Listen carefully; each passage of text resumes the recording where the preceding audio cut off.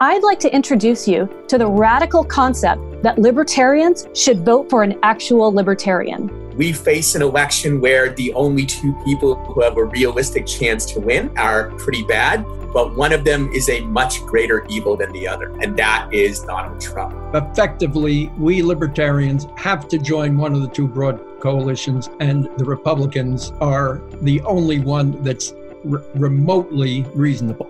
Who should libertarians vote for in the 2020 election? The presumptive Democratic candidate Joe Biden, Libertarian Party candidate Jo Jorgensen, or Donald Trump? That was the subject of a three way online Soho forum debate held on Wednesday, July 22, 2020. Arguing in favor of Biden was Ilya Somin, a law professor at George Mason University. Angela McArdle, the chair of the Libertarian Party of Los Angeles County, argued for Jo Jorgensen. And retired attorney and author Francis Menton, who blogs at Manhattan Contrarian, argued that libertarians should help to re elect Donald Trump. Here's Ilya Somin, Angela McArdle, and Francis Menton in an online debate moderated by Soho Forum Director Gene Epstein. This is a three way uh, debate. You can vote for Biden, Jorgensen, or Donald Trump, or of course, you can vote undecided, which I guess in this case means none of the above. We have a lot to cover this evening, so I'm going to get right to it. I'll be keeping track of the time and will briefly interrupt each debater to say when he or she has five minutes left and one minute left. We're taking each presidential candidate in alphabetical order by last name, which means that George Mason law professor Ilya Somin goes first in making the case for Biden. Jane, please close the initial vote. Ilya, you have 12 and a half minutes to explain why libertarians should vote for Joe Biden. Take it away, Ilya. So, my case here is pretty simple. We face an election where the only two people who have a realistic chance to win uh, are pretty bad, but one of them is a much greater evil than the other, uh, and that is Donald Trump. So, my framework for this is pretty simple. My view on how to vote in elections is that you should vote for the least bad candidate who has a realistic chance to win. Uh, it's called voting for the lesser evil, and I think there's a justification for that when there's a situation where no non evil candidate actually has a realistic chance to win. Realistically, the chance that any one vote will make a decisive di- difference in an election is extremely small, probably only about 1 in 60 million on average in a presidential election. But if your vote does happen to make a decisive difference, then there is a, a potentially big payoff because that payoff uh, is multiplied over many hundreds of millions of people in the US and to some extent around the world. Uh, and uh, I'll start off briefly by talking about Jo Jorgensen. I don't really have that much quarrel with her. I disagree with her on some issues, but I think she's certainly better on most issues than either Biden or Trump. The only problem I have with her is that she has no chance of winning, probably no chance whatsoever. Indeed, it would be surprising if she got more than 1% to 2% of the vote. So if anybody can persuade me that she does have a substantial chance of winning, I would be happy to vote for her, but I think that's not going to happen. Uh, the rest of my presentation, I'm going to talk about Biden versus Trump because sadly, those are the only two people who do have a realistic chance of winning. And there are several big issues where Biden has an enormous edge over Trump, and all of them are things where Trump has done horrible things through executive action alone, and ones where Biden is very likely to either completely reverse what Trump did or at least substantially pare it back. And the first and biggest of these is immigration. Since the coronavirus pandemic, Trump has made the US more closed to immigration than at any time in our entire 200 year history. He has shut down virtually all immigration by people seeking permanent residency in the US. He has also shut down uh, most uh, temporary employment visas as well. Uh, and his advisors on immigration, like Stephen Miller, promised that they want to make these uh, supposedly temporary changes actually essentially permanent. Uh, and there's no reason to doubt that that is indeed what they want to do should he win the election. Even before the pandemic, Trump imposed massive immigration restrictions, uh, reducing legal immigration substantially, trying to close out almost every potential avenue for it. And in the process, he adopted brutal policies like child separation, which brutally victimized thousands of children. He has partially now restarted that policy, and we know uh, that because he has said so that he would like to restart it uh, more fully. In addition, Trump wants to get rid of DACA, uh, which would mean that some 800,000 people who came to the U.S. as children and have known no other home whatsoever, that they would be subject to deportation. Uh, the Supreme Court has, for the moment, stopped Trump's separatists, but they also made clear that he could find a way to do it if he just uh, crosses his T's and dots his I's more effectively from an administrative law point of view. And it's pretty clear that if he wins re-election, this is in fact what he is going to do.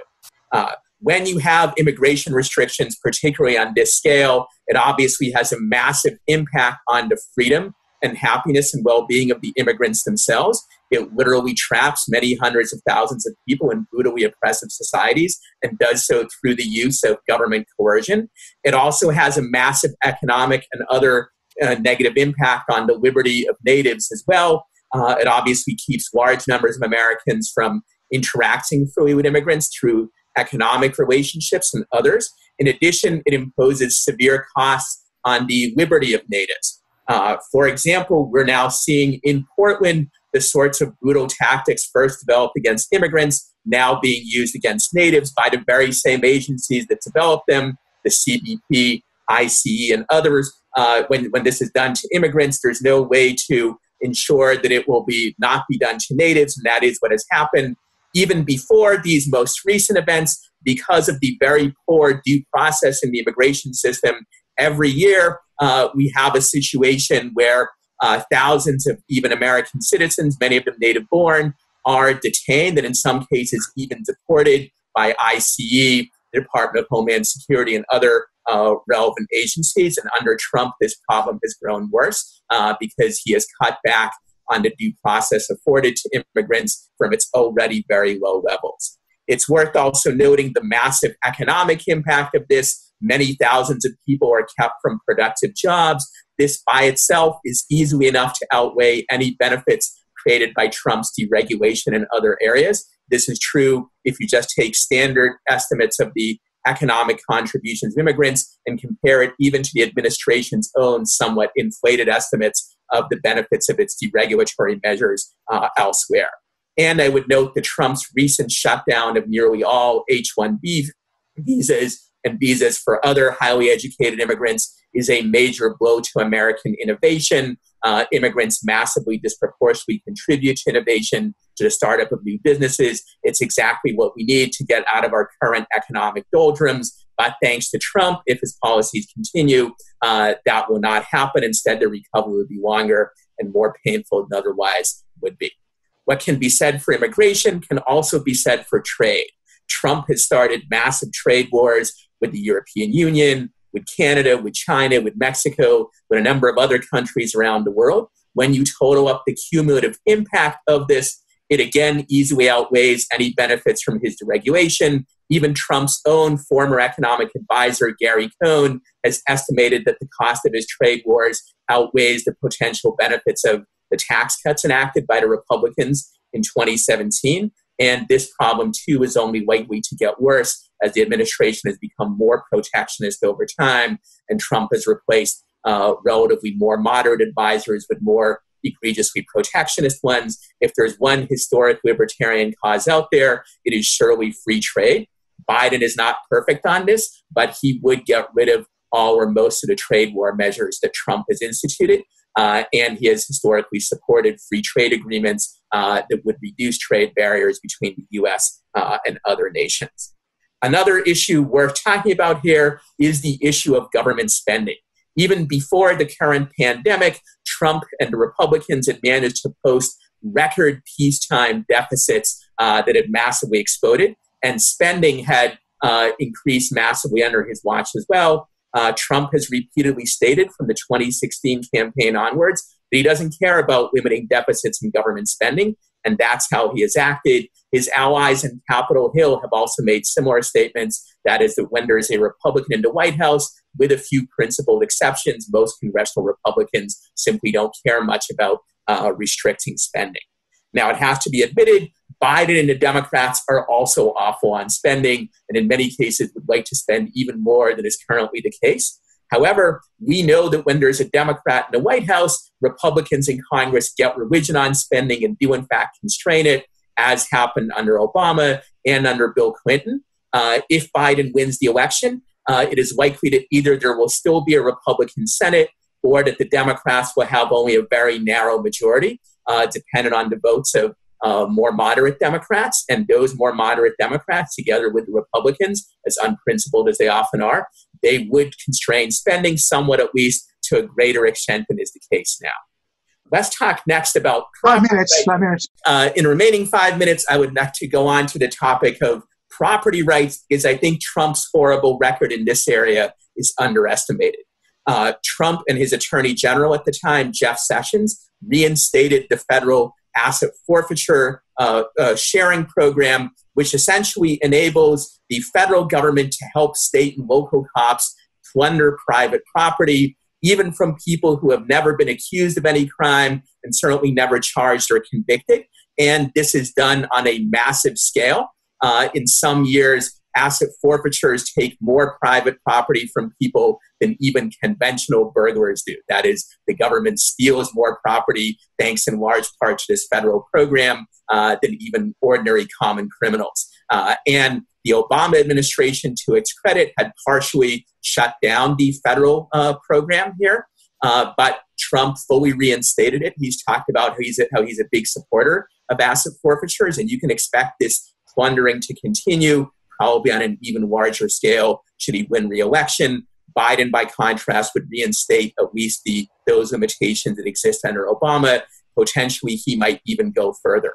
You can say uh, tell a similar story about qualified immunity, which is the protection of law enforcement agencies from lawsuits when they violate our constitutional rights. Uh, even in very egregious cases, they get protection. Trump supports qualified immunity. He and the Republicans in Congress have prevented the passage of bills that would get rid of it. Biden is not perfect on this, but he intends to support at least cutting this back significantly, whereas Trump does not. Uh, you can uh, also, with respect to uh, property rights, it's worth mentioning the border wall, which is a major centerpiece of Trump's uh, administration. If fully built the way that Trump wants it to be, it involves using eminent domain to take the property of many thousands of people. It would be the biggest federal government sponsored expropriation of private property in many decades, if not in the entire modern history of the United States. Uh, and it's clear that uh, if Biden prevails, he would stop the construction of this thing. Uh, I think that's pretty obvious. Uh, you can also tell similar stories about civil liberties more generally. Look at the secret police tactics that Trump is now using in Portland and wants to expand to other cities. Look at the fact that he has repeatedly urged regulatory agencies to crack down on his uh, political opponents for speaking out against him. Uh, and there are many similar examples as well. Again, Biden is not perfect here, but uh, he's considerably better than Trump, and at the very least, would stop these sorts of tactics that the Trump administration is engaged in. Are there a few issues where Trump is better? Yes, he's engaged in some economic deregulation on a domestic side, but this is easily outweighed by what he's done on immigration and trade. In some cases, he has appointed good judges, but this is offset by the fact that his judges tend to be very bad on issues of abuse of executive power and on issues of immigration, which are precisely the areas where he would abuse his power most if he is reelected. Much more can be said, but for now, end on this point, uh, which is that uh, if Trump is reelected, you can expect the Republican Party to continue to be a nationalist big government party of the kind it has become. On the other hand, if he is defeated, there's at least a chance that they will reconsider whether this is the direction they want to go in. Thank you very much. Thank you, Ilya. Uh, next up, Angela McArdle, chair of the Libertarian Party of Los Angeles. Angela, you have 12 and a half minutes to explain why libertarians should vote for Libertarian Party candidate Jo Jorgensen. Take it away, Angela. Hello, libertarians. Liberty means to exercise human rights in any manner a person chooses, so long as they don't interfere with the exercise of the rights of others. And a libertarian is someone who's committed to living their life according to libertarian principles. So, what is the purpose of a libertarian vote? Is it about getting libertarian messages to the masses? Is it about voting for the person who will do the least amount of harm? Voting maybe for the most libertarian leaning candidate who has the best chance of getting elected? Surely the purpose isn't to throw support behind someone who sold out your freedoms for years or even decades because you're afraid of what the other guy might do. No, I'd like to introduce you to the radical concept that libertarians should vote for an actual libertarian. Libertarians should vote for Jo Jorgensen because a vote for Trump or Biden is not a vote for freedom.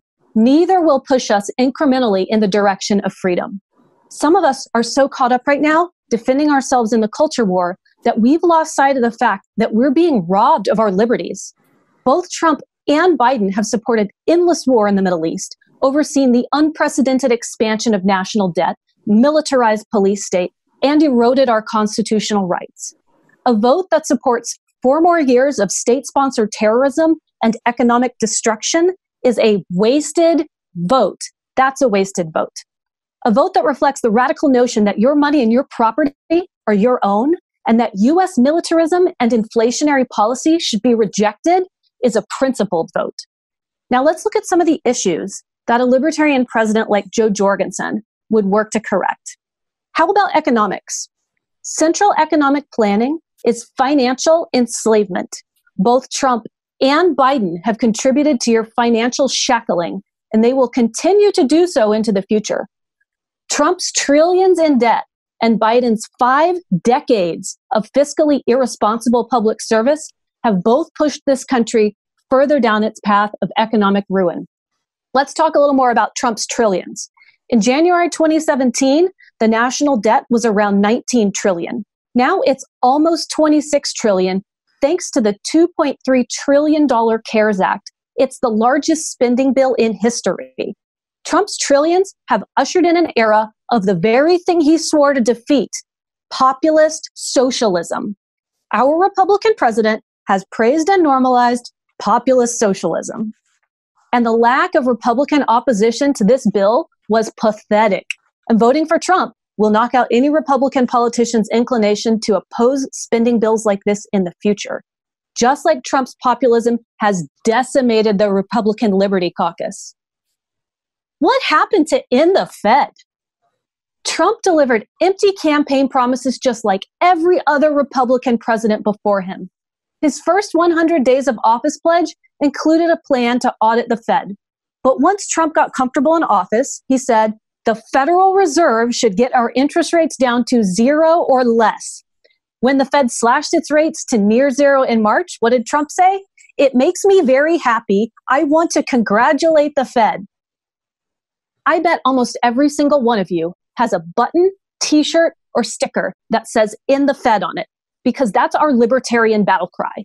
Libertarians cannot, in good conscience, vote for someone who praises the Fed's mission to print the dollar out of nothing in order to finance socialism and prop up the welfare warfare state.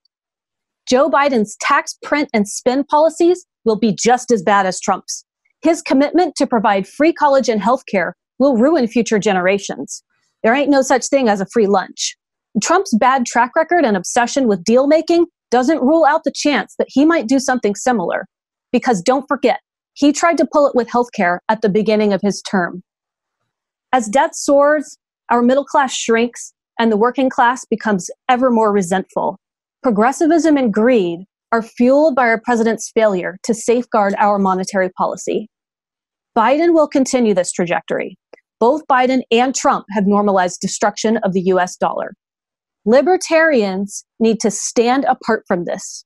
We need to end the Fed. Jo Jorgensen has pledged to end the Fed and support free markets. She needs our vote, and we need to get her message out. Let's move next to wars for empire.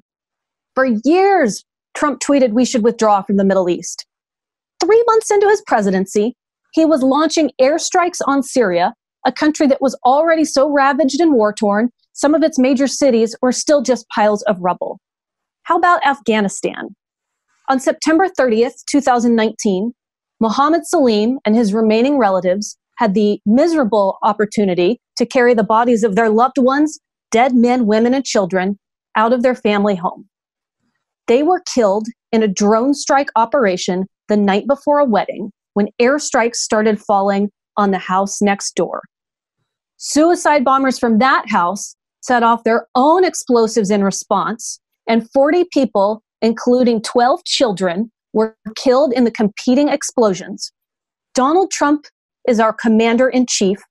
This was done under his watch, and every drone strike murder for the past three and a half years has been done under his watch. In January this year, Trump authorized the assassination of Iranian General Soleimani in Iraq. We are not at war with Iran. I know it was supposed to be different with Trump, but he's continued, if not worsened, the same foreign policy as the Obama Biden administration. In 2001, don't forget, Biden voted to support the war in Iraq. And don't forget, he's been in the Senate or vice presidency throughout the entire span of the war on terror. How about Yemen? For five years, US presidents have enabled Saudi governments to starve and bomb the people of Yemen. Thanks to Trump, there are 2.4 million malnourished and starving children in Yemen. How many Yemeni children have died due to Trump's sponsorship of Saudi Arabia's war on Yemen? Economic sanctions, all kinds of stuff. How much made in the USA shrapnel has been found next to bloody corpses of innocent families? Over 100,000 Yemenis, mostly civilians, have been killed in this crisis, and millions more have been displaced. Both Trump and Biden support a legacy of militarism that has normalized bombing weddings, murdering children, and committing assassinations and executions without trial. They are both directly responsible for continuing the war on terror. We need a president like Jo Jorgensen who will stop doing this. We need a libertarian president. And if we can't get one, we need to push back by refusing to vote for the people who send our troops off to murder civilians and create blowback. A vote for Jo Jorgensen is a vote against the warfare state. A vote for Jo Jorgensen is a vote for peace. Five minutes to go. Yeah. Neither Trump nor Biden plans to roll back the surveillance states, of course, that go hand in hand with the never ending war on terror. They will both renew the Patriot Act indefinitely and support policies that allow and enable the government to spy on citizens in their homes.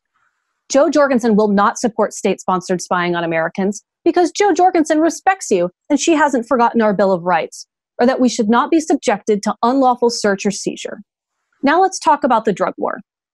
In 2013, a young entrepreneur sat in front of his laptop in a San Francisco library working on his website. While he was working, he was interrupted by federal agents and arrested and subsequently held without bail. Two years later, he was sentenced to two life terms plus 40 years with no possibility of parole. And he sits in federal prison today reading letters from us as often as we remember to send them. If Jo Jorgensen was president, Ross Ulbricht would not be spending the rest of his life in federal prison. Jo Jorgensen would give him a presidential pardon. Trump hasn't done it, we know damn well Biden won't do it. The war on drugs has failed. Biden's 1994 crime bill has ruined more lives than statistics can keep track of. It's not just the thousands of people that Biden and Trump locked up for drug charges, it's their children and their families too. It's the rape kits that sit untested on forensic shelves, the murders that go unsolved, the cartel gangs that cross our borders, and the inner city violence of the black market drug trade. War is hell, and so is the drug war. Jo Jorgensen pledges to decriminalize all drugs at the federal level, which is the way it should be.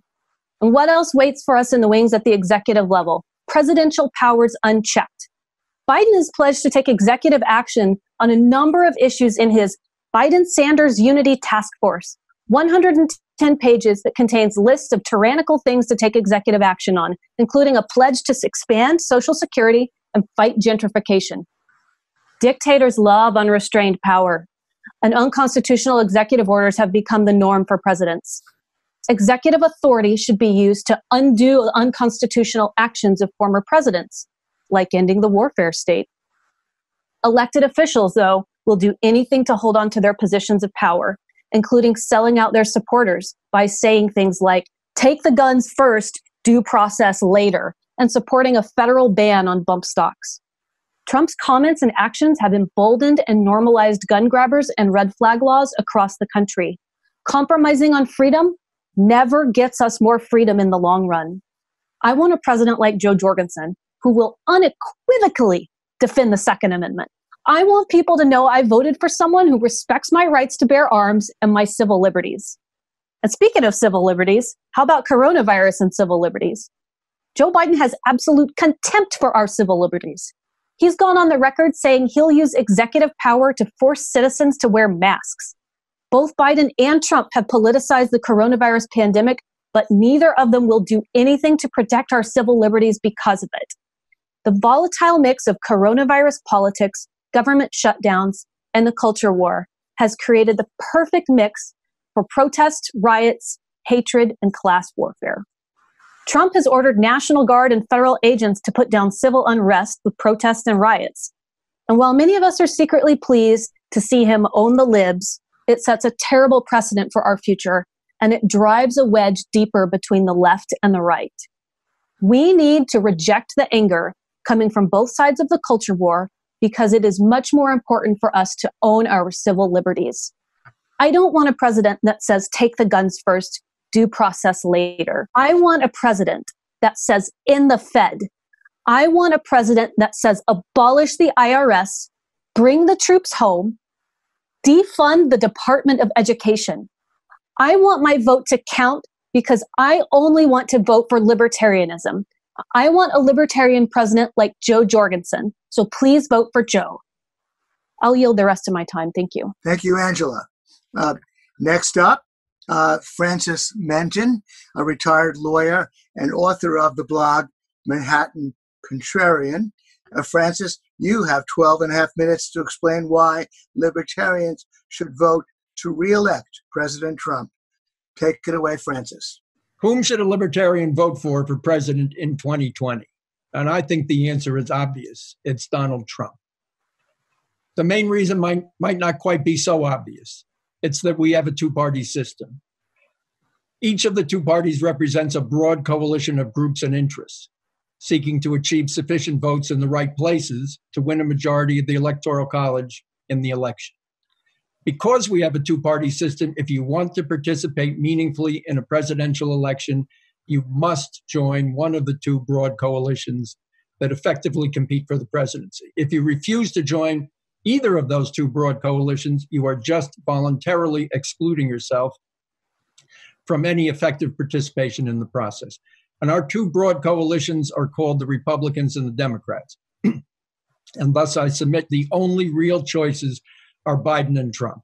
And between those two, with all due respect to Ilya, I think the choice of a libertarian for Trump over Biden is extremely compelling. I'm certainly not saying that Trump is perfect or even close to it, but effectively, we libertarians have to join one of the two broad coalitions, and the Republicans are the only one that's r- remotely reasonable.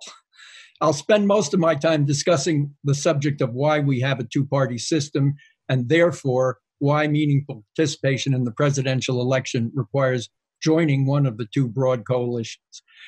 When I say we have a two party system, I suspect that many in the audience react with something like, there's nothing inherent and fixed about that. As, as uh, Ms. McArdle was just saying, we, we've got to vote for the person uh, that we really like. Look at the UK, look at Germany, or all uh, lots of other countries, Israel, Italy, Australia.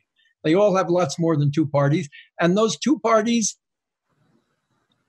win seats and they gradually build up their influence and over time uh, become more important if they have a good message. Why shouldn't libertarians want that? Why shouldn't they go that way? And the answer is that our two party system is a creation of the presidential election process as set forth in our Constitution. The other countries, the system is different.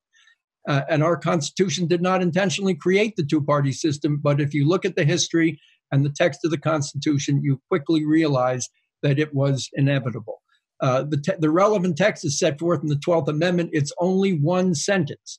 So I'll read that to you. Here's the sentence The person having the greatest number of electoral votes for president shall be the president, if such number be a majority of the whole number of electors appointed.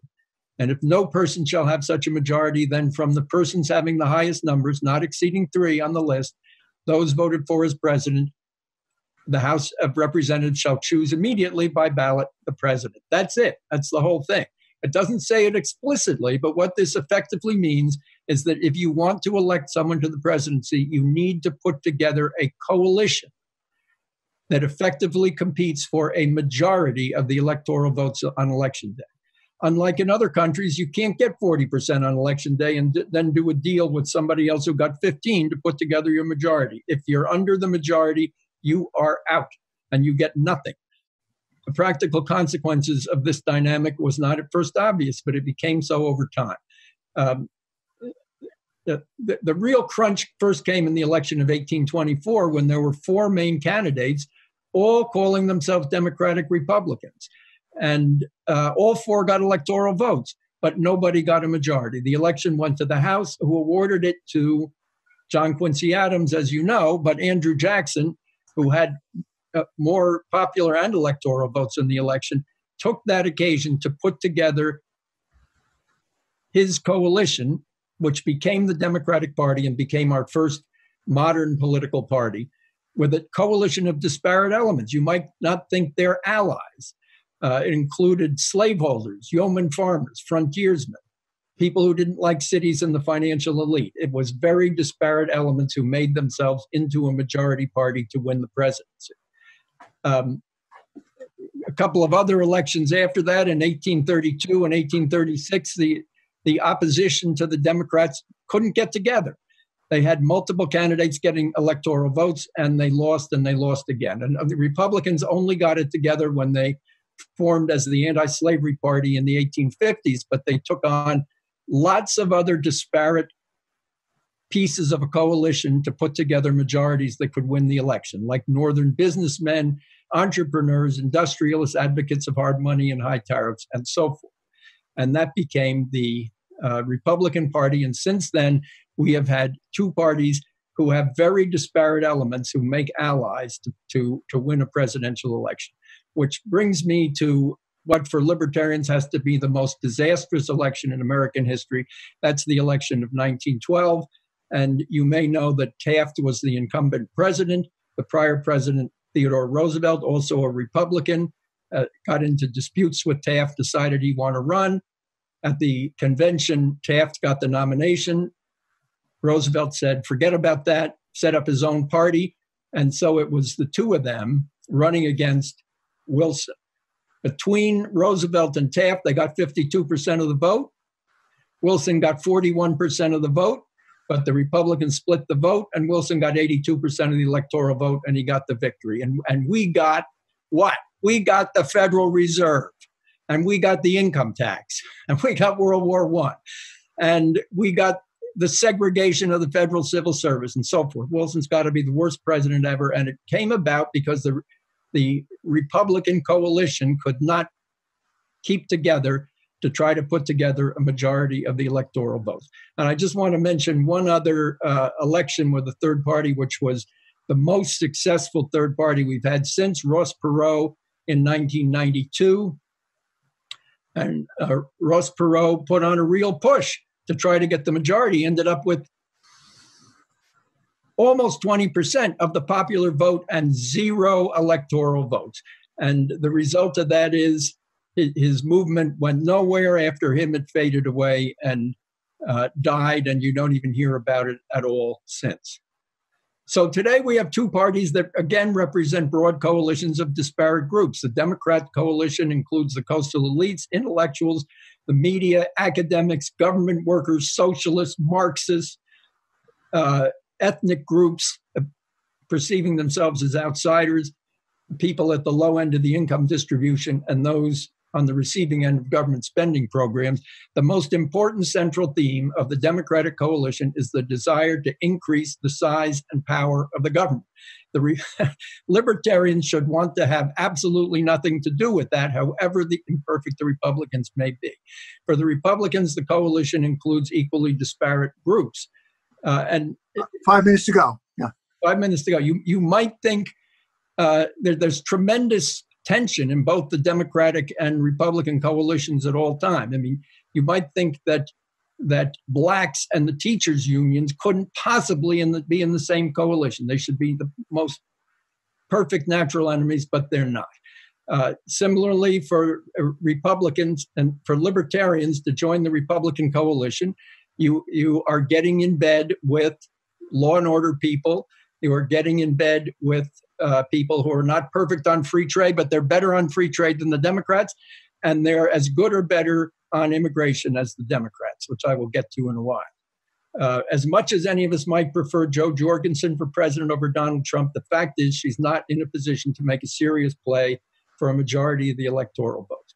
So I'll spend the rest of my time talking about differences between Trump and Biden. Uh, with all due respect to Ilya, I think he's he's come up with a list of issues, and I would have to say, as to his list of issues, uh, I certainly am am not a fan of Trump on maybe not all, but almost all of those issues. But I think Biden is as is as bad or worse, and and Biden is totally the creature of the crazy left wing of the Democratic Party that thinks all human problems can be solved by bigger government, more spending, and suppressing uh, all freedom and opposition forcibly.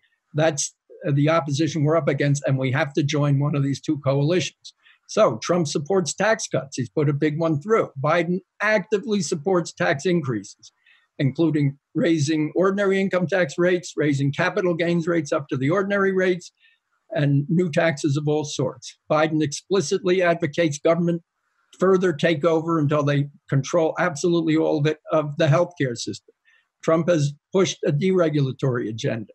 Biden supports more and more regulations. Again, this should be a big issue for libertarians. Uh, the Green New Deal. Biden has a $2 trillion plan to increase your price of energy and, and um, drive fossil fuels out of business. He's taken on Alexandria Ocasio Cortez as his main advisor on this. He plans massive new spending on pie in the sky energy schemes with no idea how they might work.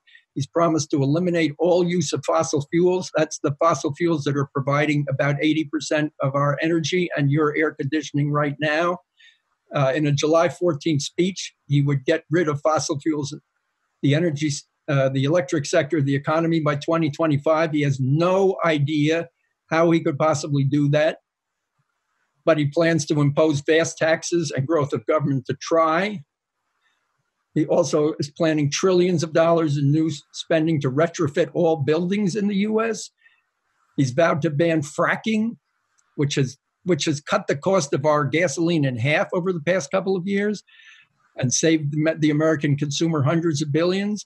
He's backed by people who block every pipeline and every, energy development of every sort. He's called for the jailing of fossil fuel executives. He's called for a nationwide ban on plastic bags. In another speech, he called for a ban on the use of all plastic. He's called for an end to shareholder capitalism. How could a libertarian possibly get on board with that? There's a huge issue of corruption with Biden, which I think I will save for my uh, next uh, piece of remarks. Um, I, two two things I want to use in my last couple of minutes. One is well, Supreme Court justices. Only one minute. uh, well, you have one minute and five seconds. one minute and five seconds. Okay, if you observe the Supreme Court, you know that the conservative justices have various judicial philosophies, but the liberal justices always vote as a block. And most important for a libertarian, the liberal justices always vote as a block on any issue that involves growth in the size and power of the regulatory and administrative state. They they will support any growth in size and power of the regulatory and administrative state. And Biden would clearly appoint more of these people and cement the leftist control of the court for a generation and more. And the Citizens United case, that's the case where the Supreme Court said that corporations and groups can put together money to oppose the united voice of the media. The entire liberal bloc voted against it. Ruth Bader Ginsburg says it's her number one priority to reverse. That's the thing that protects your free speech. And finally, there's the ongoing takeover of the Democratic Party by the far, far left. You've got 10 seconds for that. people who run Minneapolis and Seattle and San Francisco and yes, New York, they are Biden's people. They all support him. They, they, they want one massive federal bailout after another, for $3 trillion right now. I'm going to have to you'll, I guess you'll have to finish that sentence when you do your own five minute rebuttal. Thank you, Francis Menton. I appreciate it. Uh, and uh, we now go uh, to uh, rebuttal portion of the evening. We're going to take it in the same order. Uh, Ilya Somin, you have five minutes to rebut uh, your two colleagues. Take it away, Ilya. So, in my rebuttal, I'd just like to touch on a couple issues. Both of the other speakers touched on the question of taxes and spending, where Biden and Democrats generally do have some very bad proposals. But as I mentioned before, here the separation of powers helps us. None of this stuff can be enacted unless it can get through Congress. And as I mentioned earlier, uh, after next election, either the Republicans will still control the Senate, in which case it can't be passed. On the other hand, it's possible the Democrats will have a narrow majority, but that narrow majority will be dependent on people like Joe Manchin and Kyrsten Sinema and others who have a very strong interest in not passing these huge spending and regulatory packages, if only because it's not in the interest of powerful interest groups in their state. For example, Manchin, who is from West Virginia, pretty obviously is not going to vote for the Green New Deal and the abolition of uh, fossil fuels. On the other hand, all of the bad things that I mentioned earlier that Trump is doing and that Biden will almost certainly reverse, they were done through unilateral executive action that Biden could reverse with the stroke of a pen and will reverse not because he's necessarily such a great guy, he isn't, but because that's what most of his party wants. Uh, and what Biden does historically throughout his career is he generally does the things that his party wants, uh, unless they would be hugely unpopular or hugely damaging to him, which in the case of these particular policies, uh, it would not. I'd like to next talk about the war on drugs, because I think Angela was quite right to bring up the importance of this. And it's something I wanted to talk about in my initial presentation, didn't have the time. Uh, I think it's absolutely right the Libertarian Party is better on this than either of the others. But it's also true that the Democrats are vastly better than the Republicans. Uh, they're the ones who have almost all of them support uh, legalizing marijuana nationwide and also severely cutting back on criminal punishment for uh, other types of drugs uh, particularly with respect to the federal role in there. They also seek to roll back the militarization of the police, uh, which has made the war on drugs much more deadly and harmful. Uh, they recently uh, voted for a bill that uh, would get rid of federally sponsored militarization of police. It's not certain that this can pass Congress. Uh, even if the Biden wins, but the chance will be higher. Uh, moderate Democrats are unlikely to oppose that in the way that they would oppose uh, some of Biden's other ideas. So, at the very least, this is another big area where uh, the Democrats are significantly better. Uh, lastly, on this point about voting in the two party system, I think it is the case that for structural reasons, we are, at least for the time being, stuck with a two party system that will be very difficult to, or impossible to overturn. And therefore, in the vast majority of cases, any one vote or even a block of a thousand votes has almost no chance of making an impact. But a vote for a candidate that has a real chance to win, uh, there is at least some chance it'll have an impact. On average, one in 60 million, somewhat higher in a swing state, lower in a non swing state. Therefore, when it comes to voting, what libertarians should do is maximize the uh, chance of reducing the amount of evil uh, that might be caused as a result of the election uh, in other areas where we can engage in other kinds of political activities that don't have the same structure of voting. Uh, there's a lot more that we can do to persuade people of libertarian ideas, uh, to spread them, and therefore to ensure that in the future the parties have an incentive to nominate less awful candidates uh, than is currently the case. Sadly, however, the Libertarian Party uh, has not been very effective at it. It's been around for almost 50 years now, and all that time, it's hard, at least at the federal level, it's hard to point to even one policy success that they have had an important role in. Whereas by working within the major party system and also by doing things outside the party system, uh, libertarians have made a bigger difference. Uh, I think, therefore, uh, the activity of voting it should be separated out from our other political activities because voting has this narrowly constricted structure where it's highly likely that it won't make a difference no matter what we do, but in a small chance that it does make a difference, it can only be if we vote for somebody who has a real chance to win. Whereas other things we do, organizing, speaking, contributing money to various groups, and so on, there the structure is different. uh, and it's perfectly consistent to vote for the lesser evil on election day, but promote good uh, at other times so that next time around in next election, the available evils will be less evil than is currently the case. Thank you, Ilya. Just uh, six seconds under your limit. Uh, did well. Uh, uh, Angela McArdle you have five minutes to rebut your two colleagues. Take it away, Angela. Okay, let's start by working our way backwards. The Libertarian Party has definitely helped to push the Overton window on federal issues, and one of those would be gay marriage. We were the first party to come out in support of it, and eventually the other parties did have to adopt it. So that's really great. Ilya said before, when you vote, the chance that your vote will make a difference to the outcome of an election, like a presidential election, is extremely small. One in 60 million. Another thing that Ilya I anticipated would talk about, but he didn't bring up, was public choice theory, which talks about how voters don't make much effort to learn about the issues and survey data overwhelmingly shows that they don't know even very basic things about how the political system works. If that's the case, we have to catch people's attention in order to actually get them educated. And you don't combat rational ignorance with radical idea with uh, with rational arguments about boring two-party candidates. You combat rational ignorance with radical ideas. No one cares about regular politics, and that is a whole part of the problem. So Biden supported record deportations under the Obama administration, and he voted for the 2001 Iraq War. There's no reason to trust him on immigration, which is something that will probably be decided by the legislature at this point in the fight.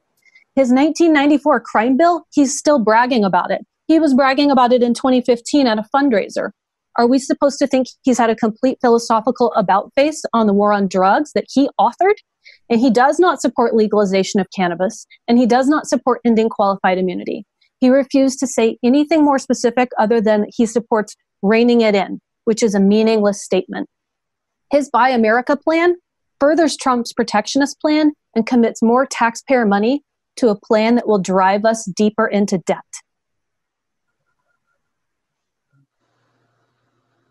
Trump. Um, let's talk about his terrible appointments. We he he's appointed Bolton, who's an advocate for regime change and military action all over the world. Jeff Sessions, who reversed Holder's reduction of mandatory minimums and escalated the federal war on drugs. How about Mike Pompeo, the former CIA director? Don't think that voting for Donald Trump will push you in the path of liberty. It won't. Another point I'd like to make is that Donald Trump is anti establishment. But anti establishment is not always libertarian. The Communist Party is anti establishment. So is Identity Europa in Europe. Not everything anti establishment is good. How about Trump's task force on crime, crime reduction and public safety? He's increased the funding for the drug war and the enforcing federal law with respect to transnational criminal organizations and preventing international trafficking. What a mouthful. He's also increased international efforts and spending on the war on drugs and cyber crimes. Trump's trade wars with China have damaged American industries like the steel industry and caused costs to go up. His tariffs have been terrible for everyone. And social mobility is decreased due to Trump's fiscal policies. There are no promotions on unemployment. None. A vote for Trump means a decrease in the Republican Liberty Caucus presence as well. Ron Paul's 2008 run had a groundswell of Liberty R's running for office, but not much has happened with them since Trump ran. He's basically rendered the RLC and the Freedom Caucus ineffective, and there's no more offensive uh, resistance to big spending bills. More fiscal issues. Cutting taxes. Cutting taxes without cutting spending does not result in a real reduction of our public spending burden. It just changes which pocket gets picked. Trump's tax cuts are made up for with inflation and increases in debt. Instead of being paid for by direct taxes, the additional spending is just paid for by printing currency, which devalues people's savings, and by adding debt, which increases our debt payments and further limits our ability to raise federal interest rates on our debt. Trump has increased the federal deficit, as I mentioned previously. As Ilya stated before, your vote only has a 1 in 60 million chance of counting. So why not vote for the Libertarian? People on both major parties think that libertarians just want to take over the two parties, we can make them better, but the other two parties don't even want us. Voting for a libertarian is a principled way to vote. The swing state argument and similar arguments are no different than a version of don't waste your vote. You're not beholden to vote against someone evil by voting for someone else who is evil. It does not change the outcome. The two parties are the same. They are both pushing us in a path of socialism and economic destruction. Thank you, Angela. Uh, Francis Menton, you have five minutes to rebut your colleagues. Take it away. Uh, thank you very much. So uh, I come back to the real alternative for libertarians is to join one of the two big coalitions. And then what? And then work within that coalition to make it move in a libertarian direction. And that, in fact, has been happening substantially. The Republican Party was basi- basically establishment go along, get along when I was younger. Today, it has a big freedom movement in it. You may say that it has that freedom movement has diminished in the last few years, but over the past 20 and 10 years, it's greatly grown. And it's our responsibility to grow it some more rather than going off on our on our own uh, little movement, which will have no influence on uh, anything. Um, on the one in 60 million that Ilya has, that's like the total number of votes. I want to point out, as, as most people here know, the 2000 election was won by 500 and some votes in Florida. Do you think that's the only such election? Believe it or not, because I studied elections for purposes of preparing for this, the 1884 election was won by approximately 1,000 votes in the state of New York for, by Grover Cleveland. If, if New York had gone the other way, uh, the election would have gone the other way. And similarly, the 1960 election was won by some very small number of votes in uh, Illinois by Richard Nixon. Um, here is a question that I think we really should address. What if I live in a non competitive state like New York or California? Uh, why don't I vote for the Libertarian candidate? Because Trump's not going to win that state anyway, and will show that the Libertarians have some support out there. And I, I will admit that I followed that theory and voted for Gary Johnson in the last election. But here's the risk last time Trump lost the popular vote. If he doesn't waste his time campaigning in states he's going to lose anyway, he risks losing the popular vote again, which will increase the outrage and the um, uh, claims of illegitimacy against him, even if he wins the election again in a way similar to what he did last time. So I think it's important for Republicans to come together as close as possible in the blue states in order to prevent this from happening. The more tr- votes Trump gets, the harder it will be to accuse him of being illegitimate, and it will help his ability to advance elements of his agenda favored by libertarians, like deregulation, Supreme Court justices, tax cuts, and the like. Um, now, I want to address uh, at least a couple of the points raised by uh, Ilya. Let, let me try immigration because I'm uh, I'm a fan of more rather than less immigration in general. But immigration is a complicated subject.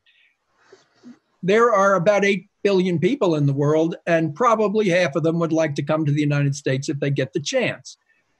Unfortunately, that's not practical and it could swamp our constitutional system very easily.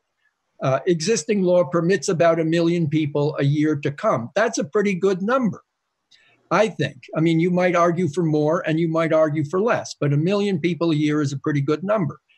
Um, now, Trump, up until just recently with the virus, hasn't really cut down on that. Recently, he has, but I think it's going to go back to the million because that's basically what Congress has set. Maybe we think it should be a million and a half, but it can't be 50 million or, or our country would just be immediately swamped. And once that, whatever the number is, if even if it's a million and a half or two million, it still has to be enforced. And you can call the people stormtroopers or children in cages or whatever. Every time somebody gets arrested in this country, they get separated from their family. I'm sorry. If they're if they're here illegally, they're going to be arrested and removed.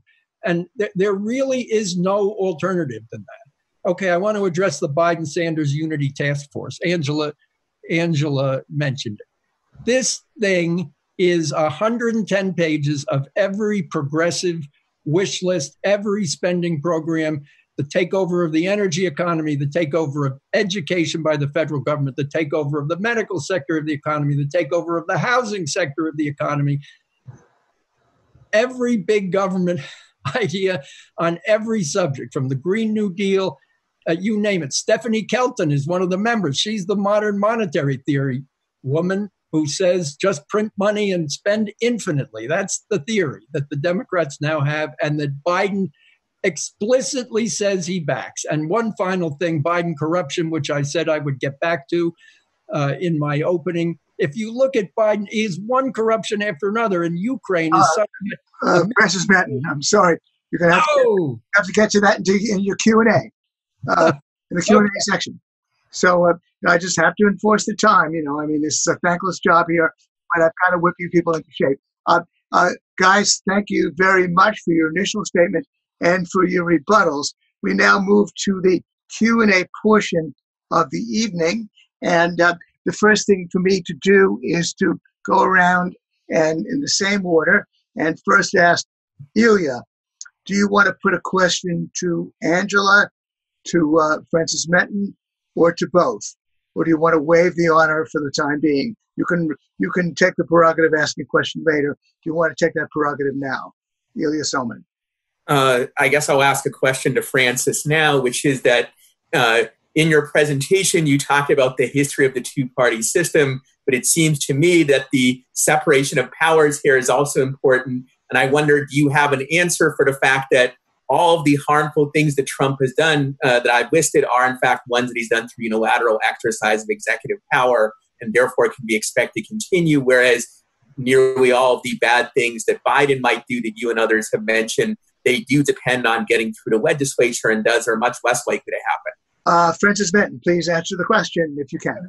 Okay, I, I, I can't think of how you could say that. The guy who invented the pen and the phone was Obama, as far as I know, and he had a series of uh, pretty incredible uh, executive orders.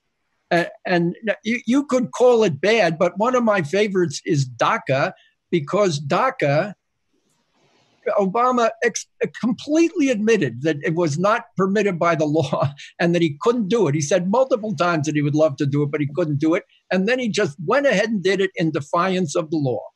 Um, uh, another example that's totally from the regulatory state the Green Power Plan, which completely would um, shut down uh, the. Uh, all coal power plants to begin with and all other power plants of fossil fuel after that, that was totally done uh, by regulation and with no uh, legislation behind it. And Biden totally announces that he intends to transform the entire energy economy based on what he claims is a view of environmental law and already in place. And he's just going to do it and cost the American people trillions of dollars by doing that. So I, I just don't agree with you. I, am not saying Trump is great, but Biden is as bad and worse, worse, worse. I guess, uh, if I may, I just uh, prerog- moderator's prerogative to intervene. You were referring mainly, Ilya, to uh, to Biden's tax plan, which which some of us believe is kind of a, a war on capital, uh, and that would have to be approved by the House and Senate. So I guess is that what you were mainly referring to? No, not just that. I was also referring to his most of his regulatory initiatives, uh, various spending programs, and so forth. All of that would have to be passed uh, by Congress. And for reasons that I mentioned earlier, it's not likely to be passed, even if the Democrats get a narrow majority in the Senate, because people like Sinema and Manchin and others are unlikely to vote for it. Uh, buddy, uh, Francis Menton, do you have a response to that, or do you want to waive the honor? Uh, well, I, will just say one sentence, which is I think the whole Green New Deal thing, large, large pieces of it, they're planning to do by regulation, which means by executive action, not not asking for new laws from Congress. Uh, Angela McArdle, do you want to comment on uh, the exchange between Ilya and Francis? Uh, take it away, Angela, if you'd like to comment on what they just said to each other. Well, I agree I agree that a lot of the 110 page Unity task force proposals are going to be achieved through executive order because that's what it says. It says it right there. However, Donald Trump's spending, which we have all witnessed in the past three and a half years, is not much better. And it looks like he has basically just adopted progressive spending and slapped a MAGA hat on it and an elephant and called it owning the libs or voting to protect our freedoms, which are all honestly just that fight is being, it's happening at the level of governors. So I don't see a major difference between the economic policies between the two of them. They're just wearing different scary masks. It's the same disgusting body. Uh, Angela, uh, do you want to take the prerogative to ask a question of either Ilya uh, or Francis or both at this point? Do you want to waive the honor until later? Sure. I'll ask Francis, where do you see the Republican Party in about 10 years? Well, uh, Angela, I am an optimist. And as I have advocated in my presentations here, I think we libertarians should become active in the Republican Party. We should work with the Republican Party and we should work to move it in our direction and to make it a party of smaller government. It pays lip service to that, but in order to actually accomplish it, it needs libertarians libertarian oriented Republicans in the Congress. It needs a libertarian oriented president. And, and for the reasons I've stated, that's only going to come via libertarians working through the Republican Party to accomplish it. I'd like to see that happen. Uh, do you want to comment, Angela, on uh, on uh, Francis Menton's response? Sure. How about what we've seen with the RLC and the Freedom Caucus basically being destroyed under Trump's populist agenda? It doesn't look like joining the Republican Party is actually working out right now. It uh, it doesn't seem to have much liberty messaging. Well, I, I think it does have liberty messaging, and uh, again, I said in my presentation that the uh, Freedom Caucus of the Republicans may have diminished some over the past few years, but it's increased a lot over the past 20 and 10 years. And, and I would hope to regain that momentum. Ilya, do you want to comment on uh, the exchange between uh, sure. just took place? Francis said earlier that the liberty movement is growing in the Republican Party. It seemed to me that he must be observing a very different Republican Party than the one I've seen over the last several years. In reality, what has happened in the Republican Party is an embrace of big spending, an embrace of severe restrictions on civil liberties, trade wars, uh, immigration, family separation, and so forth, all the things I mentioned earlier even an embrace of things like asset forfeitures beyond what uh, occurred before, building big border walls by confiscating thousands of people's property, uh, and so on. And if you look at the intellectual trends within the party, it's not even just Trump. Sort of the hot younger people in the Republican Party, hot politically, not necessarily physically, uh, are people like Josh Hawley and Tom Cotton, both of whom support big government nationalism. So if we want a Republican Party that moves in a different direction, uh, it has to be a Republican Party that gets beaten for moving into the Trumpist direction. That will give it some incentive to look at other things. Uh, those possibilities may still not be great from a libertarian point of view, but they're likely to be at least somewhat better than what exists now. So uh, if you look at what Republicans are saying, people like Hawley, people like Trump, people like Cotton and others in the party, they openly talk about how they reject limited government, they reject free markets, they prefer protectionism and nationalism, uh, and it's unlikely that we can move them off of that unless they get a political incentive to behave differently. Okay, uh, Francis Menton, your turn. Would you like to put a question to Angela, to uh, Ilya, or to both? Uh, take it, or would you like to waive the honor until later? Take it away, Francis. Maybe well, by working in that comment, you couldn't get in, Francis. Go ahead. I'll, I'll, just ask Ilya to comment on the Biden uh, Sanders unity program for a federal takeover of everything. How, how could you support Biden with that? I have two answers. One is it's not a takeover of everything, though it would be a takeover of too many things. Uh, but my other comment on that is what I said before that most of it would have to pass through Congress. Even the parts that they say they can do through regulatory action, uh, a lot of it would be undermined in the judiciary. Uh, there's a lot of Republican judges out there who would not be happy to approve those programs. Uh, finally, in, the, in that unity program, there actually is some stuff that is actually good, like reducing militarization of the police, cutting back on uh, things like asset forfeitures and qualified immunity, and also some pretty good measures on immigration. And all of those things actually uh, Biden could do uh, through executive action, uh, at least uh, given that most of those there are things where Trump has so far gotten away with uh, unilateral executive action. It was interesting to me earlier when you were asked when you tried to name things that the Democrats did through executive action. One of your only two examples was DACA, which is actually a really good thing, protecting 800,000 innocent children from deportation. I don't agree, by the way, that Obama said it was illegal. You can argue uh, about whether it was illegal or not, but to the extent that it survived, it's actually a good thing from a libertarian point of view, a very obviously good thing, actually. Angela, would you like to comment on the exchange that just took place between your two colleagues? I don't think so. Thank you.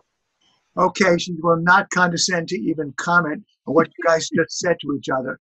Uh, and so uh, now I want to use a moderator's prerogative to ask you each a question. I'll take it in the usual alphabetical order. Uh, Ilya, you're probably aware of because the, the things that uh, your two colleagues have alluded to.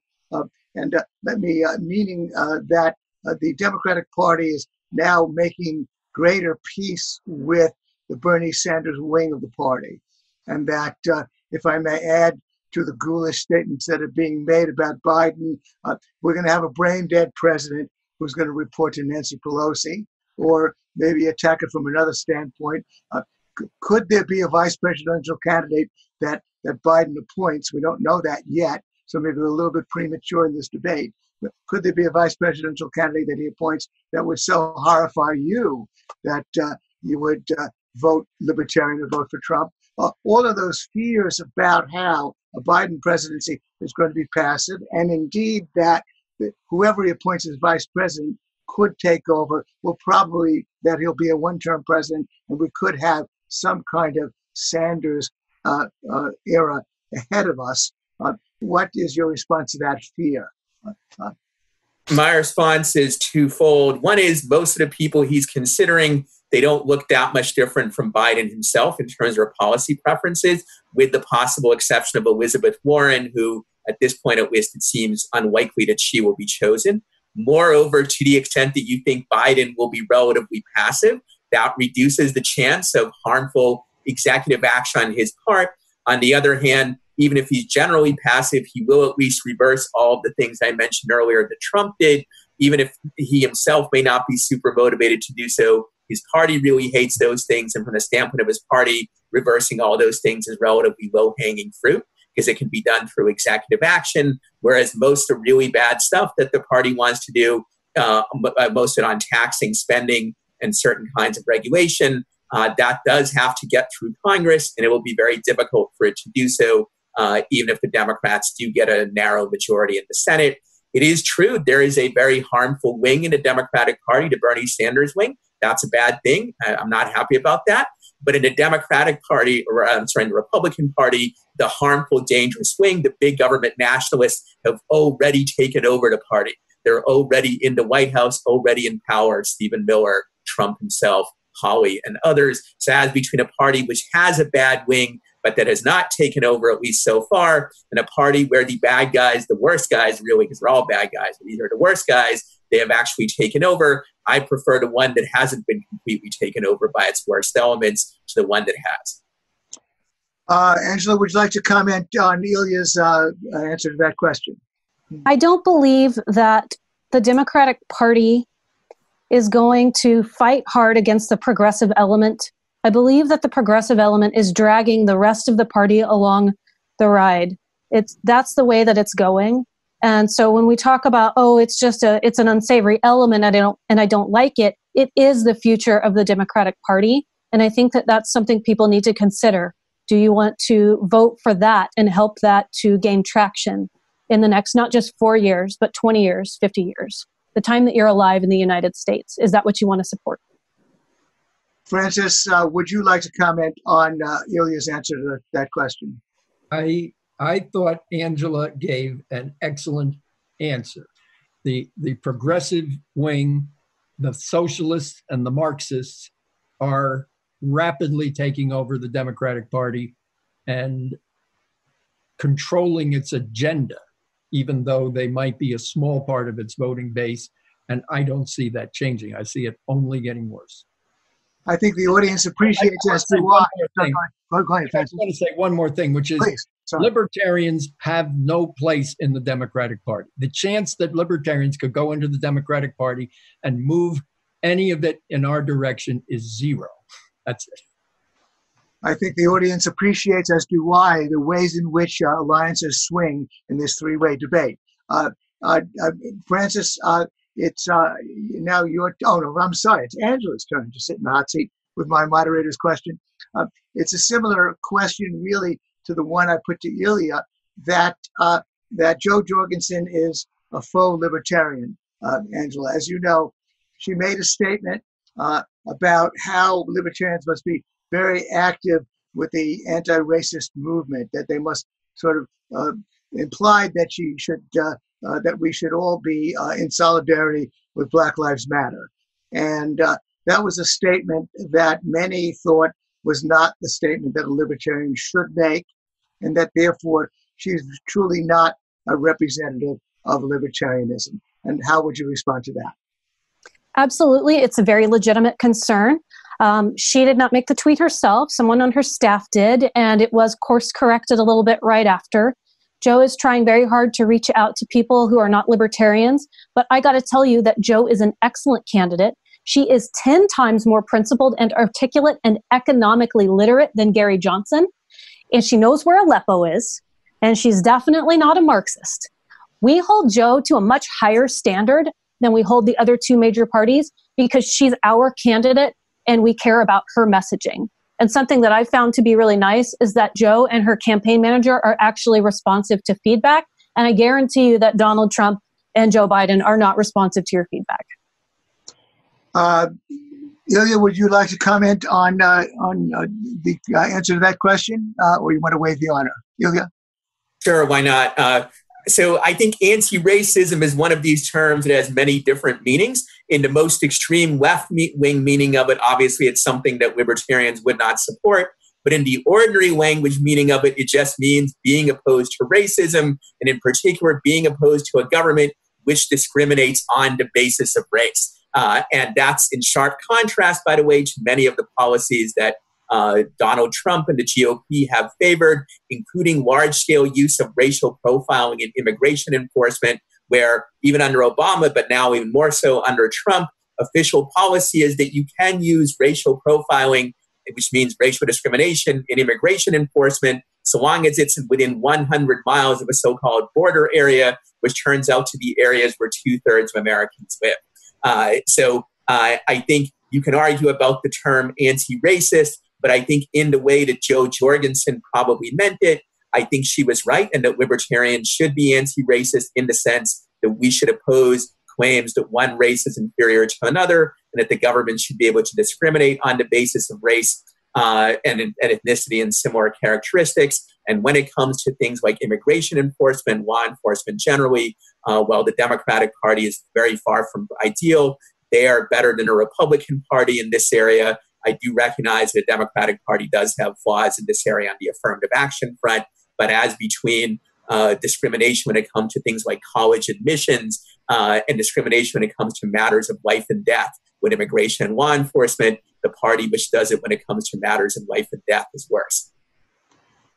Uh, Francis, would you like to comment on Ilya's comment or on Angela's comment or on the question regarding Jo Jorgensen? Yeah, I, uh, that was specific to Angela, and I'll waive comment. Okay. All right.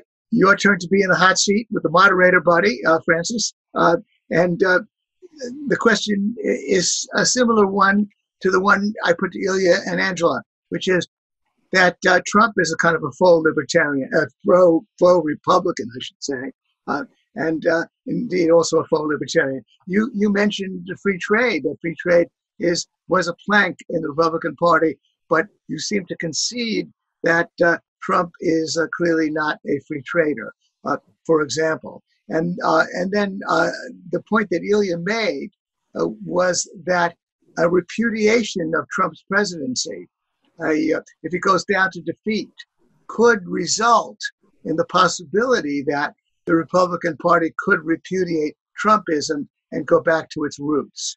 Uh, and so, can you comment on that broadside attack against Trump? Well, starting with, um, if Biden wins or if Trump wins, there's going to be a different Republican candidate in 2024, and the Republican Party can move away from Trumpism equally uh, at, at that time, whichever one of the candidates wins.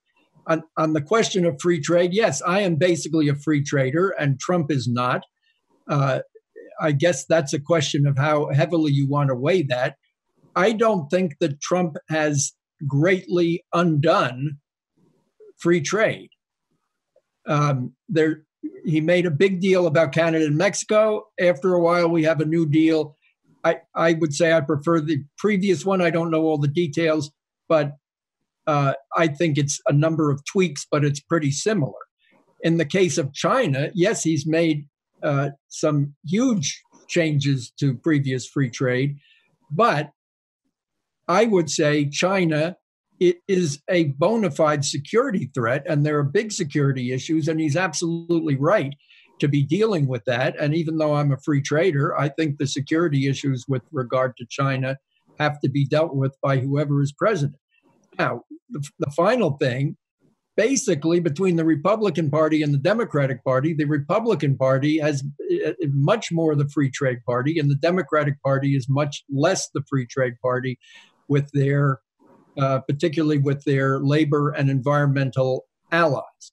So, as bad as Trump is, I think we are better off with Trump and the Republicans than Biden and the Democrats on free trade issues.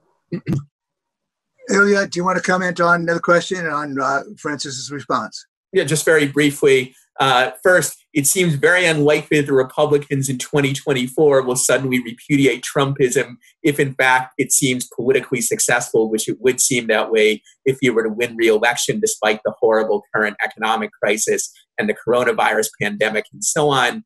Uh, secondly, on the issue of free trade, I think it's pretty obvious that the Republican Party has become much more protectionist than the Democrats. That's a change compared to 10 or 20 years ago, but it's a real change. Uh, I just give the example that Trump withdrew the US from TPP, a major free trade agreement that would have encompassed numerous countries in the Pacific and, by the way, would have helped to counter China. That agreement was signed by the Democrats. They would have passed it. Uh, Trump uh, withdrew us from it. In addition, he has started trade wars with almost all of our allies, with the European Union, uh, with Japan to some extent, with Canada, with Mexico. Even, by the way, after the new version of NAFTA, he still has kept in place various, various tariffs on Canada and Mexico that he put in supposedly as leverage for those negotiations. Uh, so I think there can be no serious doubt that the Republicans are far more protectionist than Democrats right now, even though the Democrats certainly have plenty of flaws of their own. And if Trump were to win re-election, uh, that would confirm the Republican Party as the strongly protectionist party that it has become. Angela, do you want to comment on the question uh, and on uh, your colleagues' answers to that question? No. I guess just a short comment that neither party is good on trade, and and I think that actually the other two two professionals have explained that pretty well. I, I think I think we all have a pretty good idea of where everyone stands. Jo Jorgensen is very free trade, open to trade. The other two are not. Thank you. Uh, we have a question that came in uh, from the audience. Uh, uh here's one for Ilya. The questioner writes uh, Trump has not started any new wars, and it is safe to say Jorgensen would not either. How can we trust Biden to show the same restraint? Uh, shouldn't that be a deal breaker for libertarians? Can you answer that question, Ilya?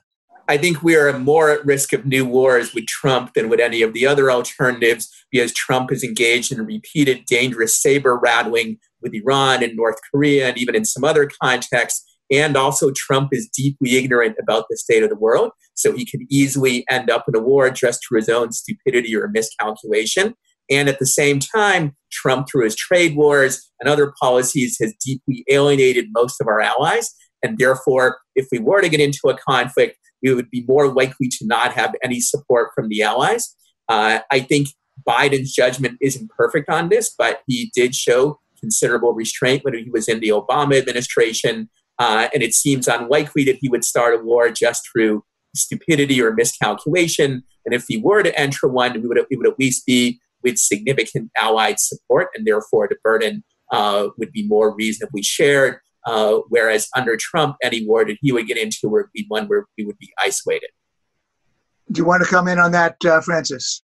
I'll waive the honor. Uh, I, will waive the honor. Angela, you want to waive the honor or do you want to comment? I'll do a short comment. Uh, I've taken a good look at Biden's voting record, and he's been definitely more dovish in the past 15 years than he was in 2001 when he voted for war. I certainly don't trust him on this issue, though, because he did vote for us to go to, uh, to war with Iraq. And the Democratic Party has been up in arms about everything with Russia, trying to just scream, you know, we need a Cold War with Russia. Everything is so, every, everything, you know, is hysterics with them. So, no, I don't trust that Biden's foreign policy would not push us into war at some point. I, I I'm glad it's Biden, not Hillary. That's the most, that's the nicest thing that I could say about the DNC right now. All right. Uh, thank you, Angela. And uh, here is a question for Buddy that I guess picks up on a slight disagreement or maybe a major disagreement that you and Ilya just had. Uh, uh, why would G- the GOP move away from Trumpist ideas that got them elected? Why would they move away from Trumpist ideas that got them elected? Or indeed, as Ilya was saying, if Trump is triumphant uh, in this coming election, why wouldn't they just embrace those ideas uh, in the next election? Well, but the simple answer is we have to bring in voters who who agree more with our ideas than the so-called Trumpist ideas within the Republican coalition in order to move the Republicans in our direction. Uh, that's the reason. I don't. I don't think what what is being called the Trumpist ideas.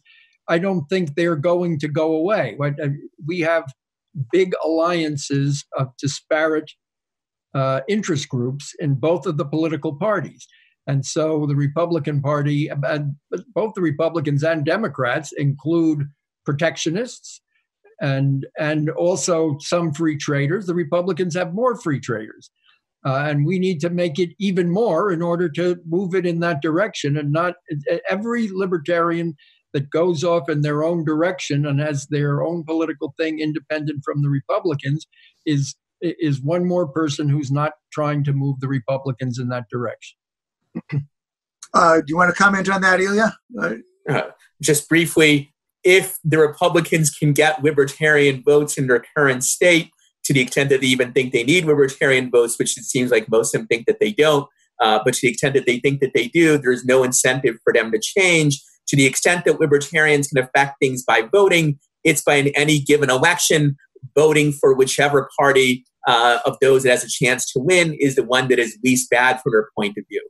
If on an issue like free trade, you end up voting for a party that is actually more protectionist, then that more protectionist party has even more incentive to discount whatever we might think uh, regarding the free trade issue. I think that's uh, pretty clear. Uh, do you want to come in, Angela? Oh, yes. No. Libertarian messaging will be drowned out under Trump's populism. If libertarians rush right now to join the GOP, all we're going to do is be labeled Republicans, GOP people, every insult under the sun that is attributed to Donald Trump. It's not the right time to try to to try to charge the cockpit on that. That was Ron Paul's run and that's not coming back. If we get Ron Paul 2.0, fantastic and I'll divi- I'll revisit that debate with you, but I'm telling you that that is the only situation where I would give any respect to the notion of trying to rally behind Republicans. It's not going to work out for us right now. Okay, well, uh, that concludes the Q&A portion. And uh, we're now going to go to the summations. And in the same order, uh, we're giving you each seven and a half minutes to summarize. You can take less than that if you'd like. Max at seven and a half. Uh, Ilya, uh, tell us once again why we libertarians should vote for Joe Biden? So I think I laid out the main issues in my initial presentation. There has been very little attempt to even begin to refute most of those. So I'll just remind people of the points about immigration, trade, property rights, civil liberties, government spending that I mentioned earlier. All of these are huge issues. All of those are issues where it is very likely 90% or more that things will be better uh, if Biden wins than if Trump wins. Uh, they might be better still if Jo Jorgensen were to become president, uh, but she probably pretty obviously is not going to happen. I would like to briefly comment on the immigration issue, some of the points that Francis made, uh, in that it is not true that Trump failed to cut immigration even before the coronavirus pandemic. To the contrary, he had reduced refugee admissions, for example, from some 100,000 a year to almost nothing. And that happened even before uh, the pandemic began. He also cut uh, many categories of legal immigration and, of course, ramped up deportations, family separations, and other kinds of brutal measures. You can say, well, that happens with any kind of crime, that there's some kind of family separation. However, uh, when people are convicted of a normal crime, they at least get normal due process. There is no such due process with family separation under Trump's policy. Moreover, uh, the only crime here, if there's a crime at all, is the crime of crossing the border, which in, in the criminal code is a minor misdemeanor. There's no other misdemeanor, to my knowledge, where people are routinely uh, separated from their families in such a brutal way. Usually, for most misdemeanors, you get a small fine or community service uh, or the like. So the brutality of this policy is enormous, and it's a departure from previous policies, even though previous policies uh, were very bad. And I mentioned earlier how this is a threat uh, to the liberty of natives, citizens, and not just to uh, that of immigrants. This issue of, well, the entire world could come into the US. Uh, I think this, like many things, where people are allowed to live should be determined by free markets and individual choice. As libertarians, that is what we should be committed to. And the bogeyman of everybody would come in, that seems very unlikely. It didn't happen in the first 150 years of American history when we had mostly entirely free migration from the world and limitations of housing and employment markets uh, can also uh, constrain that.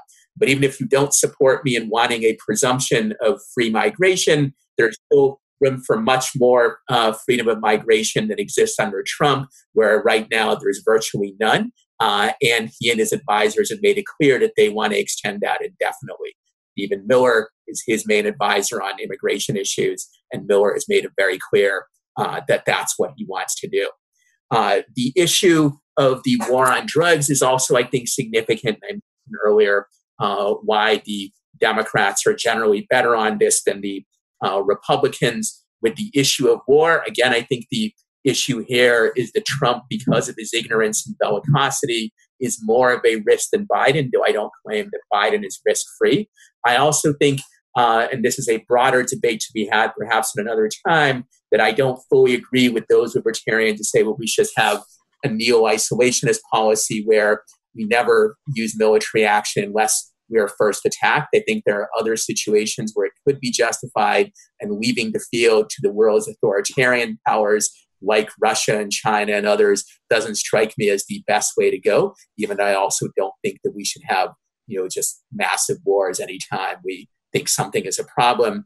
Uh, and I think Biden can strike at least some reasonable balance on that. And that is, in fact, where his positions have been over the last 10 or 15 years, uh, though I certainly don't expect he will be uh, anywhere near perfect on that. Finally, on the two party system and what libertarians should promote our ideas, uh, I think the act of voting is separable from most of our other activities because it has this characteristic where uh, only two parties have a real chance of winning and any one vote has so little chance of making a difference. That therefore, it makes sense to cast a vote uh, for the, the party of the two that have the, a real chance of winning that is the less bad. Uh, and in most cases, it won't make a difference. But in the small chance that it does make a difference, that's the only way to have any kind of payoff. On the other hand, there are many other things that we can do promote libertarian ideas, make contributions to organizations, engage in issue specific activism, do scholarship and research and writing and speaking.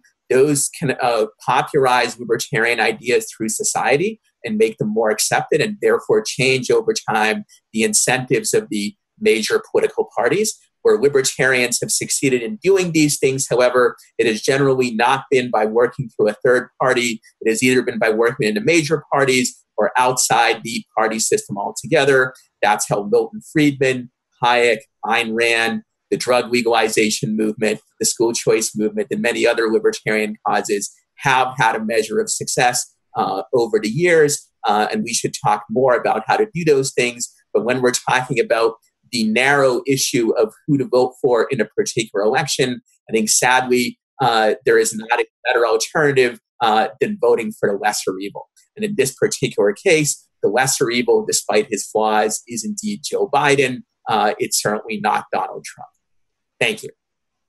Okay, under seven and a half minutes, but um, uh, Angela, you have seven and a half minutes to uh, summarize the case for Jo Jorgensen. Take it away, Angela. I want to see liberty achieved in our lifetime, and I admire everyone who is fighting for freedom in whatever way they can. There are some libertarians who are trying to force political change through the two major parties, and there are some who have folded to their own cynicism and discouraged others from any political action altogether. But there is a third choice. It's using the Libertarian Party and its presidential candidate to educate people and win hearts and minds. The only way to achieve libertarian values is to promote libertarian values. We will never promote libertarianism by promoting the values of Biden or Trump, especially in today's political climate. We use our presidential candidate to spread the values of liberty offer voters a principled third choice, and force the other two parties to pay attention to libertarian issues. Why not make voting meaningful by giving it to Jo and working to get 5% of the popular vote? You'll guarantee ballot access for several states for the Libertarian Party, make headlines, and get liberty all over the news. This is also a vote where principled non voting libertarians can be assured that their vote will not result in an act of aggression against Hmm. to others. The only way to beat Marxism is with liberty, not with National Socialism or populism. And Jo is an excellent candidate. You don't protest against a candidate who's libertarian by throwing your vote behind the biggest collectivist monsters of modern human civilization. It's understandable we hold Jo to a much higher standard than we hold the other two candidates because we care about her messaging because she's supposed to be our beacon of liberty. But the reality is that no human being or candidate is perfect in everyone's eyes. Ron Paul is the paragon of liberty. There are still some people who don't like him because he was personally pro life. Would you rather support someone who is wildly unprincipled in order to cast a spite vote? Or would you rather support someone who is highly principled that you disagree with on one or two minor points? Right now, hope isn't connected to a landslide win at the polls. It's connected to pushing the Overton window in the direction of freedom. And we need your support to send hope out to the masses. Collectivism under the banner of the left right paradigm is one of the strongest poisons Americans have ever drunk. Both parties are toxic collectivist tools that are pushing this country down a path of socialism. One claims to be slightly less socialist than the other, the other claims to be more socialist, but nicer. Reject them. Never forget. The reign of death that was brought on by Hitler, Stalin, and Mao would never have happened if people hadn't discarded their love of liberty and abandoned individual rights for the sake of tribalism. Civilization has never been advanced by a collectivist dictatorship, and both Trump and Biden suppress innovation with regulatory capture or economic destabilization or the threat of nationalization. Both of them and their parties have pitted friends and families against each other, and now hatred boils over and politics has bled into a culture war. But as libertarians, we shouldn't be so easily fooled to take up arms in the wrong fight. During the past 40 years, for example, federal gun rights have been eroded under Republican administrations. Federal spending and debt have soared. The dollar is basically just an empty promise, and Donald Trump is directly responsible for the escalation of these things during the past three and a half years. Democrats like Biden have brought us disastrous socialized medicine, and they're ready to try it again. The Democratic Party has dragged Biden to the far left, and they're trying to drag the rest of us there with them or destroy us along the way by distracting us with racial tension and class warfare. Throughout the past 12 years, libertarians and the Ron Paul remnant has screamed in frustration, Where is the anti war left? Well, I scream back, Where are the anti war libertarians? Where are the end the Fed rallies? Where are the tax revolts? Have we accepted unending war and socialism and just given up all hope? Is it acceptable to use our votes to re elect a war maker who destroys the dollars and our civil liberties? I say no. It's time to shift our paradigm and let go of all this two party baggage so we can fully embrace freedom. Don't give in to this evil. Just proceed ever more boldly against it. Don't believe the lies of the Trump versus Biden fight.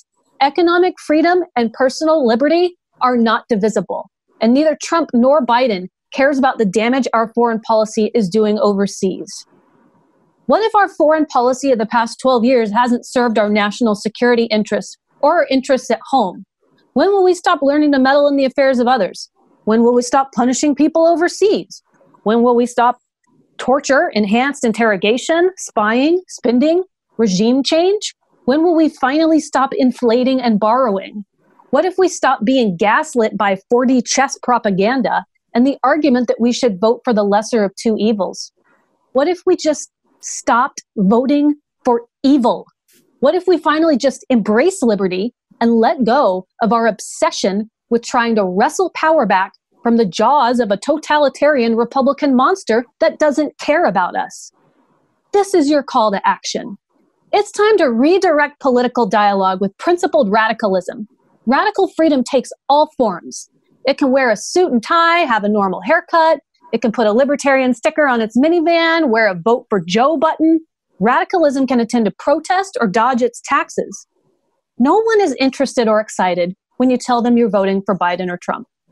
No one is intrigued when you tell them you're too apathetic to vote or that the system is rigged. Everyone already knows.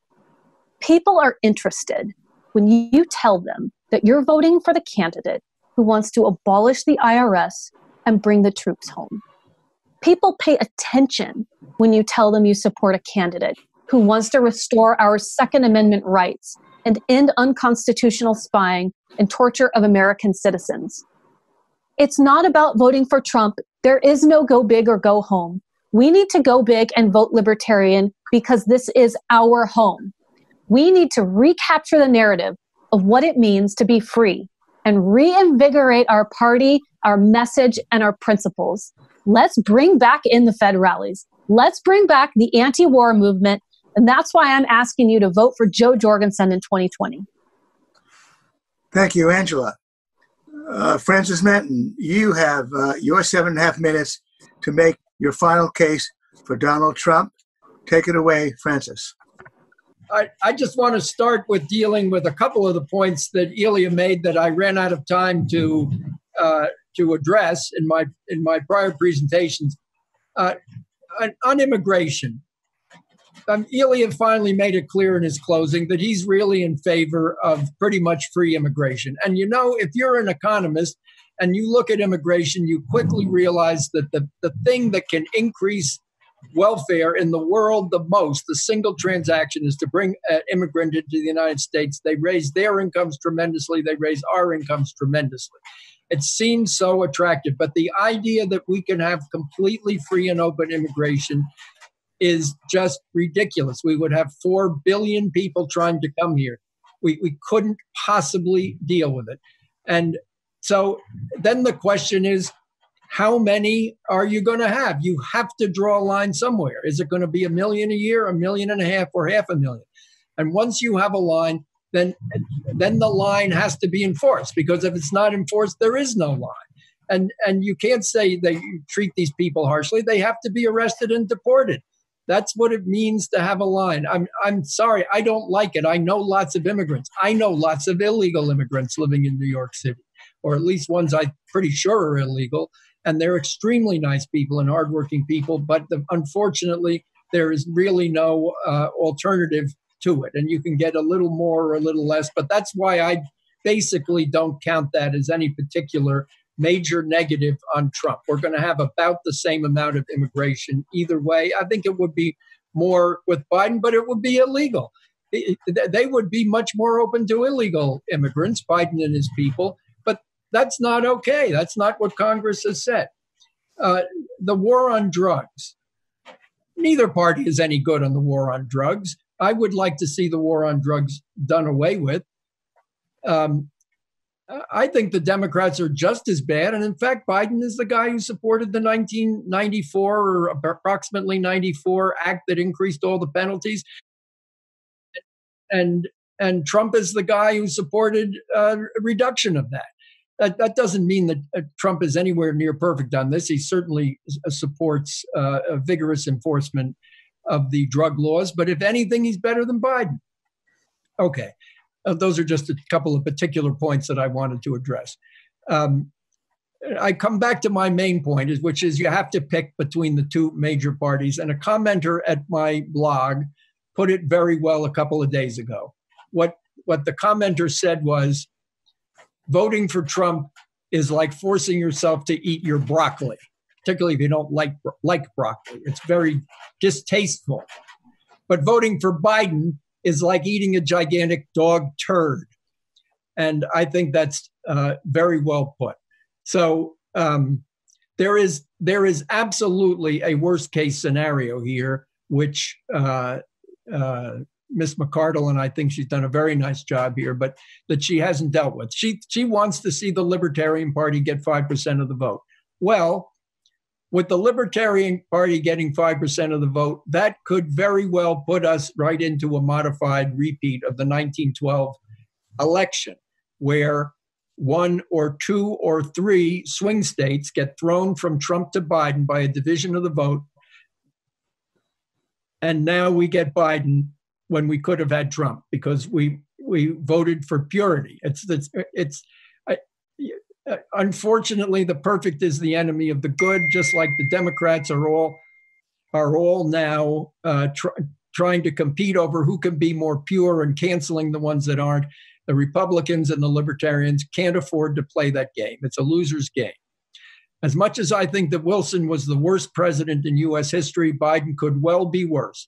Uh, I think you're just kidding yourself if you think that Biden is any kind of a moderate.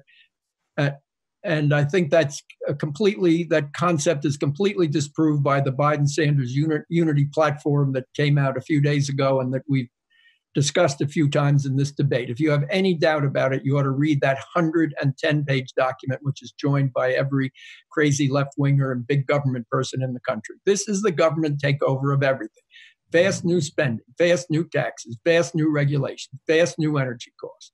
It's also the ascendancy of the woke the people who think that believing in freedom is hate speech and racism and white supremacy. That's that's Biden's people. It means Supreme Court justices who will approve suppressing the speech of anyone who does not agree. With Trump as president, there's at least some possibility of pushing back against the purges from social media, from academia, and and from from the media of all dissenting voices, such as yours. They want to purge you. With Biden as president and the woke in control, the move to silence libertarian voices will accelerate. So Trump may not be our favorite, but he's our only option for pushing back against the very, very malign forces with which, for which Biden is the current figurehead and the front man. We need to vote for Trump. In fact, more than that, we need to try to get him as big a victory as possible, hopefully a landslide, so that he'll have people in Congress and he can get some libertarian oriented things accomplished. Indeed, if we really care about libertarianism, it's our duty. Thank you. Okay, well, that was uh, under your allotted time. Thank you, Francis. Uh, we, uh, I want to thank all three of you. I learned a lot. I think our audience learned a lot from each of you. Jane, or would you please take over and supervise the voting? And now I want to uh, I want to uh, announce the uh, the winner. Uh, first of all, uh, I do want to say, guys, that uh, setting aside the Oxford style vote, uh, in the final vote, Jo Jorgensen got 60.3%.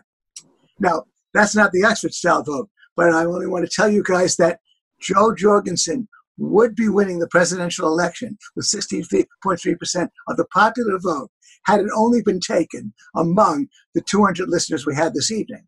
So I want that firmly understood, uh, Francis and Ilya. And Angela, you can certainly crow on that basis. And then I guess I also want to add that Jo Jorgensen also won uh, the Oxford style vote.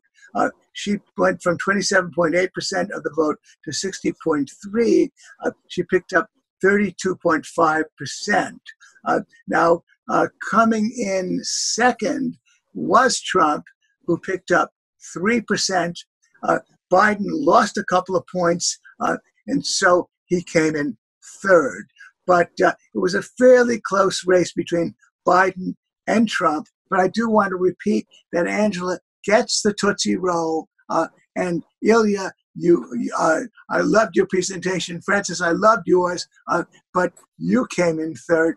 Francis, you came in second. I now want to ask you if you're all on on uh, on, on, on the tube. Uh, uh, Francis, who do you think will probably win the presidential election? Will you? Uh, that we're going to have to have an election among 60 million voters, not among the 200 this evening. Who do you think will probably win, Francis, the election? The election is among 100, 100 million and more. But sorry, uh, yeah, God, yes.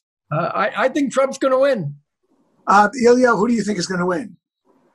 I think it's most likely to be Biden. Uh, that's the conventional wisdom, but the conventional wisdom on such things I think is right most of the time. And Angela, who do you think is going to win? I have no idea until I can find out um, how many more riots we're going to have until then. Coronavirus. I think right now it's it's barely Trump in the lead, but if he if he fumbles a ball before then, I think that he could slip. We'll just we'll see how many more people he throws a, a knapsack over on the West Coast. Okay, you guys still apparently disagree about everything, including the future. Uh, so again, thank you all. You all three of you have been great. This has been a real pleasure. And good night to everyone out there. We will be back in August.